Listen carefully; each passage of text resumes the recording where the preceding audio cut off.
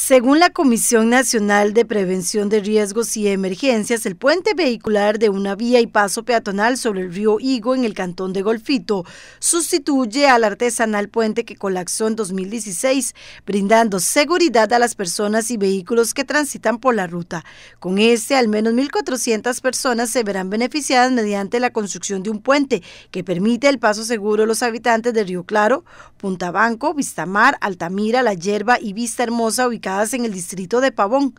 Esta vía es una ruta directa para el tránsito de cultivos como la palma africana, ganadería bovina y porcina, además de ser una ruta para diversos hoteles y zonas turísticas, por lo que además se apoyaría la reactivación económica en el lugar.